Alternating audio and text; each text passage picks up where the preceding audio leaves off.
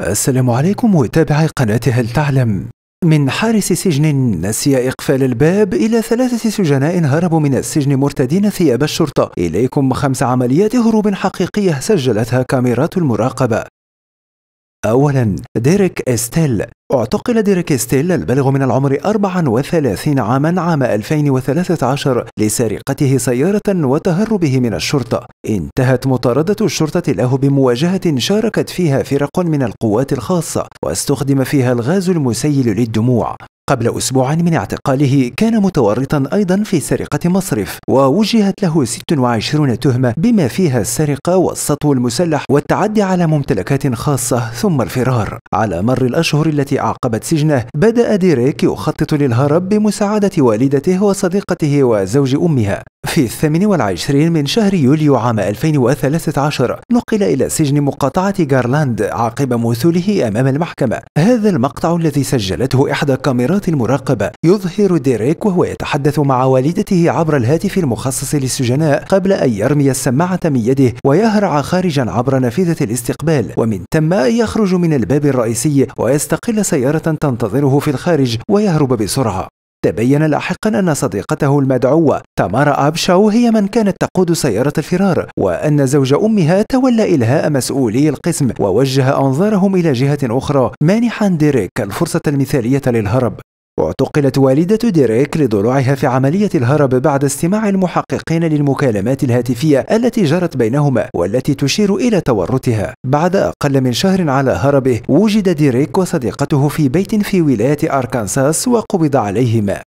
عام 2015 أقر ديريك بمسؤوليته عن التهم الموجهة إليه وحكم عليه بالسجن لمدة 32 عاما وحكم على صديقته بالسجن لمدة ثلاث سنوات لمساعدته على الهرب. أما الشريكان الآخران فينتظران المحاكمة. ثانيا توري تي سميث.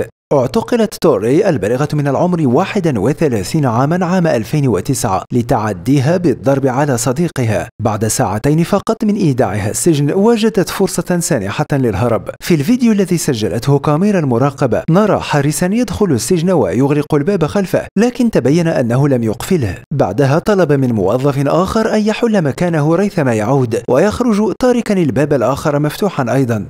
لاحظت توري ما حدث فاستأذنت للذهاب إلى المرحاض وبدأت عملية الهروب. خرجت سريعا عبر البابين المفتوحين دون أن ينتبه إليها أحد وفرت هاربة. في النهاية نراها تجتاز سياجا قبل أن تتوارى عن الأنظار. عثر على توري واعتقلت مجددا بعد 24 ساعة فقط من هروبها. سجنت بنفس التهمة السابقة بالإضافة إلى تهمة الفرار من السجن. ثالثا روكي ماركيز. اعتقل روكي عام 2010 على خلفية تهم عدة بما فيها التزوير والتأثير على الشهود والقيادة تحت تأثير الكحول وجرائم أسلحة ومخدرات. تعرف ماركيز في السجن على سجين كان قد اقترب موعد الإفراج عنه وبطريقة ما أقنعه بأن يبادله هوية السجن التي يرتديها السجناء بالمعصم ليخرج هو بدلا عنه. وهكذا خرج من السجن ببساطة. ظل ماركيز فارا من الشرطة لمدة ثمانية أشهر إلى أن تم تعقب سيارته وأودع سجنا آخر في ولاية أخرى لكن ما لا يصدق هو أنه هرب مرة ثانية بنفس الطريقة في هذا التسجيل نرى كيف يخرج ببساطة دون أن يسأله أحد شيئا. حتى إن سلطات السجن لم تعرف أنه هرب إلا بعد مضي خمسة أيام. بعد شهر ونيف عثر عليه في المكسيك وتمت إعادته سريعا إلى الولايات المتحدة. عام 2014 أقر روكي بالعديد من التهم الموجهة إليه بما فيها التخطيط لحيازة وتوزيع ألف كيلوغرام من الماريخوانا والتخطيط لعمليات تبييض أموال. في الثامن والعشرين من شهر يوليو عام 2014 حكم عليه بالسجن لمدة 18 عاما. رابعا هروب من سجن صيني. في الثاني من شهر سبتمبر عام 2014 هرب ثلاثة سجناء من سجن شمالي غرب الصين. جميعهم كانوا مسجونين لارتكابهم جرائم عنيفة بما فيها القتل وأحدهم كان محكوما بالإعدام. اتحد الثلاثة وبدأوا التخطيط للهرب. في الساعة السادسة صباحا اصطحب حارس أحد السجناء الثلاثة إلى غرفة التحقيق استجابة لطلبه إجراء مكالمة هاتفية. ما إن دخل السجين الغرفة حتى بدأ يخنق الحارس إلى أن أماته ثم تبعه السجينان الآخران وأخرج مفاتيح من جيب الحارس واستخدماها للحصول على ملابس الشرطة. ارتدى الثلاثة لباس الشرطة وخرجوا من السجن الواحد تلو الآخر. عرضت الشرطة جائزة قدرها عشرين ألف دولار لمن يدلي بمعلومات تودي إلى القبض على الفارين. وفعلا تم القبض عليهم بعد عشرة أيام. في الثالث عشر من شهر نوفمبر حكم على اثنين منهما بالإعدام لقتلهما حارس السجن بينما حكم على الثالث بالسجن مدى الحياة لدوره في عملية الهرب. كذلك صدرت أحكام بالسجن بحق ثلاثة حراس لمدة تتراوح بين ثلاث إلى ست سنوات لإساءة استخدام السلطة حيث إن أحد الحراس أمر بتخفيف المراقبة وتقليل نوبات الحراسة في السجن وآخر وجد مسؤولا عن نقص الرقابة على الملابس الخاصة بالشرطة. أما الثالث فكان نائما أثناء عملية الهروب. إنه Prison Break الصيني. خامسا إل تشابو. خواكين كوزمان.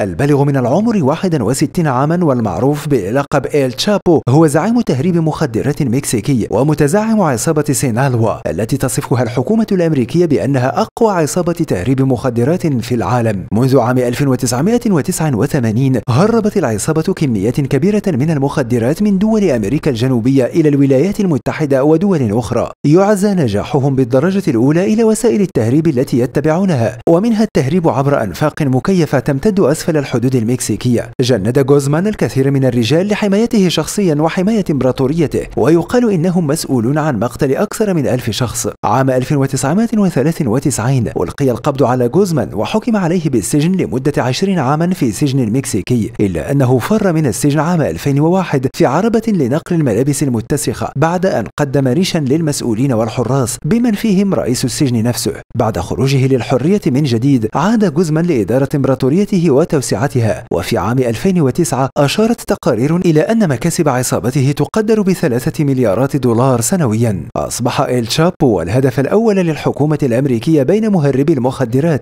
وعرضت تقديم خمسة ملايين دولار للقبض عليه. عام 2014 توصلت السلطات إلى مكانه في فندق مكسيكي وقبضت عليه مجددا. الرئيس المكسيكي إنريكي بينيا نيتو رفض طلب الحكومة الأمريكية ترحيل جوزمان إلى الولايات المتحدة معللا ذلك بأن هروبه مرة أخرى غير ممكن. في الحادي عشر من شهر يوليو عام 2015 هرب جوزمان مجددا من سجن مكسيكي مشدد الحراسة لكنه لم يخرج من باب زنزانته هذه المرة. أظهر تسجيل كاميرا المراقبة جوزمان يتجول في زنزانته ثم يذهب إلى الحمام ويختفي. اكتشف لاحقا أن جوزمان هرب من خلال نفق يمتد إلى كيلومتر ونصف محفور أسفل السجن مباشرة. يظهر هذا الفيديو مدى حسن تجهيز النفق الذي يحتوي على مصابيح وفتحات تهوية وحتى دراجات نارية. يعتقد أنها كانت تستخدم لنقل مواد أو ربما لنقل جوزمان نفسه.